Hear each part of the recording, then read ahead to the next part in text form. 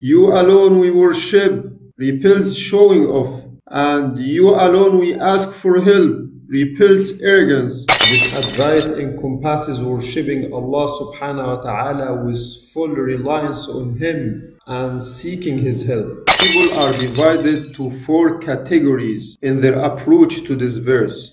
All praise be to Allah and peace be upon Prophet Muhammad sallallahu alayhi wasallam. The meaning of worship in the Quran and Sunnah are profound. And we see Allah subhanahu wa ta'ala divided in Surah Al-Fatiha between His servitude and the servitude of His servants. The Prophet Muhammad, peace be upon him, mentioned this division in two parts. One half is for Allah which is you alone we worship. And the other half is for the servant, which is you alone we ask for help. This division highlights the great importance of these phrases and their depth in the relationship between the servant and his Lord. There are mainly two types of servitude. The first is the servitude of compulsion and dominions, which means that all the creation are under the command and the will of Allah subhanahu wa ta'ala. Whether they want or they don't want. Our creatures are under Allah's control. As Allah subhanahu wa ta'ala said, وَهُوَ الْقَاهِرُ فَوْقَ عِبَادِهِ وَهُوَ الْحَكِيمُ الْخَبِيرُ And also said, ألم تر أن الله يسجد له من في السماوات ومن في الأرض والشمس والقمر والنجوم والجبال والشجر والدواب وكثير من الناس وكثير حق عليه العذاب ومن يهن الله فما له من مكرم إن الله يفعل ما يشاء. The second type is voluntary servitude, which is the true meaning of faith and monotheism. the servitude of the believers who willingly obey Allah subhanahu wa ta'ala and worship Him sincerely. they are the people who know their purpose of life and the purpose of their existence, so they find peace and tranquility and they get closer to Allah subhanahu wa ta'ala. And they do what pleases Allah subhanahu wa ta'ala through their words and actions. When a believer recites, You alone we worship, they embody the concept of complete worship to Allah subhanahu wa ta'ala, which involves perfect love, humility, and submission. Allah subhanahu wa ta'ala is the owner of the earth heavens and directs all matters of creation. As Allah subhanahu wa ta'ala said in the Quran, إِنَّ رَبَّكُمُ اللَّهُ الَّذِي خَلَقَ السَّمَاوَاتِ وَالْأَرْضَ فِي سِتَّةِ أَيَّامٍ ثُمَّ اسْتَوَى عَلَى الْعَرْشِ No one besides Him has the power to benefit or harm.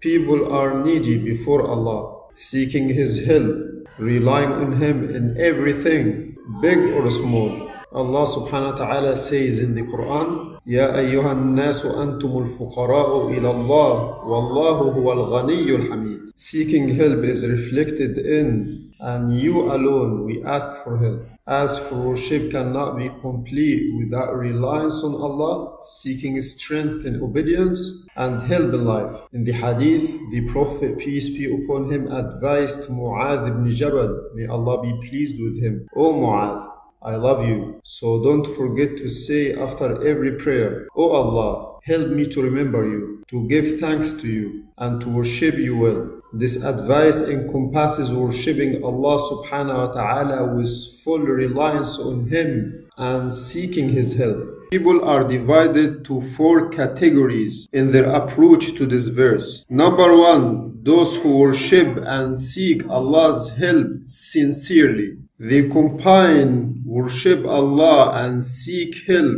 both in belief and actions. They do everything that pleases Allah subhanahu wa ta'ala and submit to Him with sincerity and love. Allah subhanahu wa ta'ala says about them إن الذين قالوا ربنا الله ثم استقاموا تتنزل عليهم الملائكة ألا تخافوا ولا تحزنوا وأبشروا بالجنة التي كنتم توعدون. The second category those who worship Allah without seeking help from Allah subhanahu wa ta'ala. These people perform acts of worship but turn to others for their needs, which risks practical shirk by mixing obedience with acts of shirk. The third category those who claim reliance without true worship to Allah subhanahu wa ta'ala. These people rely on Allah subhanahu wa ta'ala only for their worldly needs, neglecting true worship.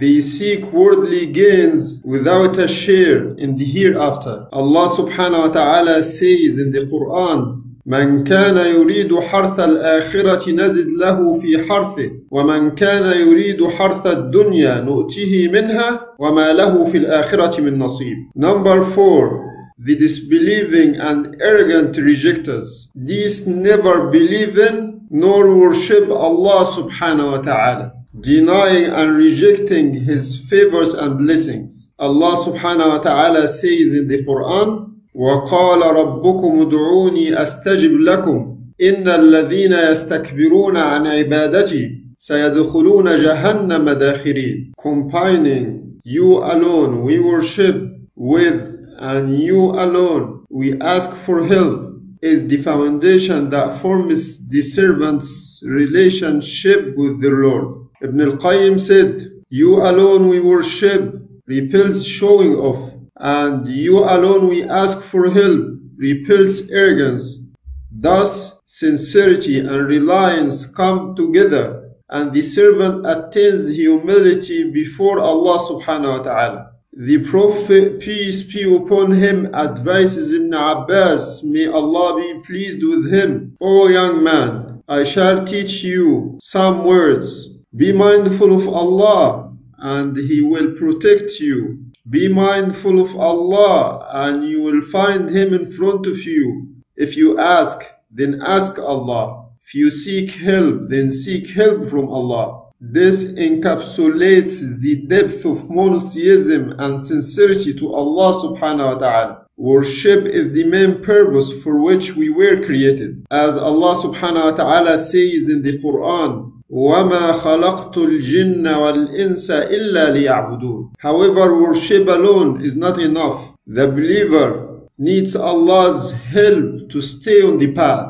That's why the divine order in the verse is to begin with worship, then acknowledge our need for Allah's help. The divine order is precise and profound. When a Muslim says, you alone we worship, they affirm their sincerity in worship. True worship is complete declaration of loyalty to Allah subhanahu wa ta'ala, affirming that He is alone deserves worship and obedience. Then comes, and you alone we ask for help, as if we're saying, O Lord, since you are our God whom we worship, we seek your help alone in all our matters, for you are the only one capable of aiding us. This unity in worship is followed by unity in seeking help. Relying on Allah means turning to Him in all matters,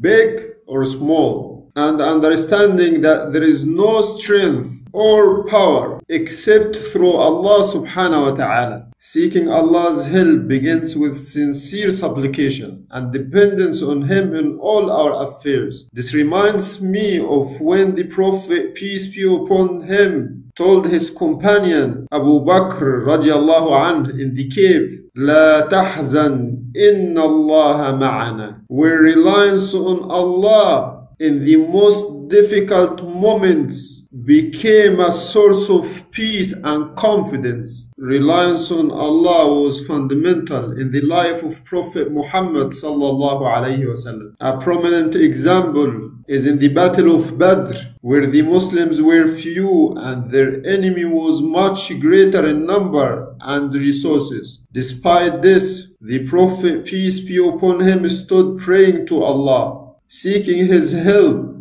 so persistently that Umar ibn al-Khattab, may Allah be pleased with him, said to him, O Messenger of Allah, be moderate in your supplication. Allah will fulfill what He promised you. This is strong dependence on Allah subhanahu wa ta'ala brought down the angels to support the Muslims. This story shows that reliance on Allah subhanahu wa ta'ala coupled with taking the necessary means opens doors and makes things easier. Feeling despair is natural, but a believer overcomes it by turning to Allah subhanahu wa ta'ala and trusting that Allah subhanahu wa ta'ala will never abandon him. Allah subhanahu wa ta'ala says in the Quran, وَمَن يَتَوَكَّلْ عَلَى اللَّهِ فَهُوَ حَسْبُهُ Meaning Allah is enough for those who necessarily depend on Him. The story of Prophet Ibrahim, peace be upon him, when he was thrown into the fire is a wonderful example. He said, Allah is sufficient for me and He is the best disposer of affairs. And Allah subhanahu wa ta'ala commanded the fire to be cool and safe for him. True reliance on Allah requires complete trust and leaving matters to Allah subhanahu wa ta'ala after putting in the required efforts. Dua is one of the greatest means of relying on Allah subhanahu wa ta'ala. Prophet Muhammad sallallahu alayhi wasallam said, Dua is worship. Dua connects the servant with their Lord and enhances their dependence on Allah subhanahu wa ta'ala. The Prophet, peace be upon him, was consistent in making dua in every matter big or small, knowing that Allah subhanahu wa ta'ala is the one who helps. He taught us the dua of leaving the house. Bismillah tawakkaltu ala Allah. Even in the things that seem simple, he would turn to Allah, seeking his help and blessing. Worship is a complete acknowledgement of Allah's power and his right to be obeyed, while seeking help is the acknowledgement of our limited abilities and our need for Allah's assistance at every step.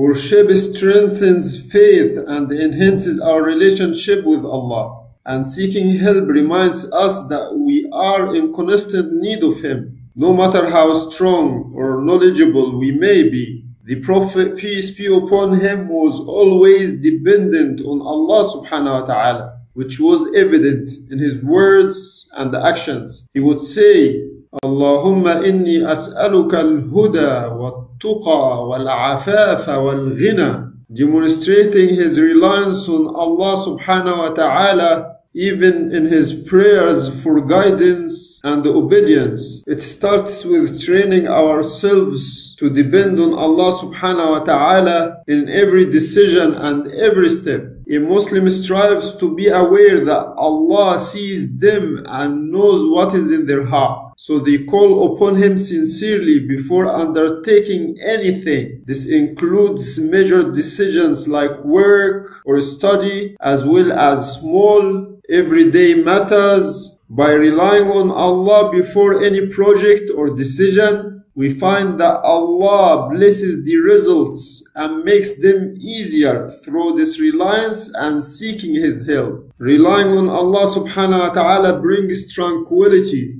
because it makes one realize that Allah subhanahu wa ta'ala is managing their affairs and is sufficient for them. Allah subhanahu wa ta'ala says, ألا بذكر الله تطمئن القلوب. This means that true security comes from relying on Allah. When a believer is reassured by the knowledge that Allah is with them, they become capable of facing any challenge and they remain calm in the face of difficulties. Peace is one of the fruits of the true reliance on Allah subhanahu wa ta'ala. إِيَّاكَ نَعْبُدْ You alone we worship. وَإِيَّاك نَسْتَعِينَ And you alone we ask for help is a declaration of complete monotheism and acknowledgement of our constant need for Allah and a renewal of our commitment to live our lives in light of His guidance and teachings. Each time we recite this verse, we reaffirm our relationship with Allah, declaring that we are His servants who worship Him sincerely and seek His help in all matters. May Allah subhanahu wa ta'ala make us among those who truly rely on Allah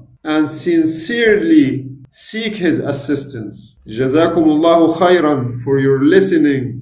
والسلام عليكم ورحمة الله وبركاته.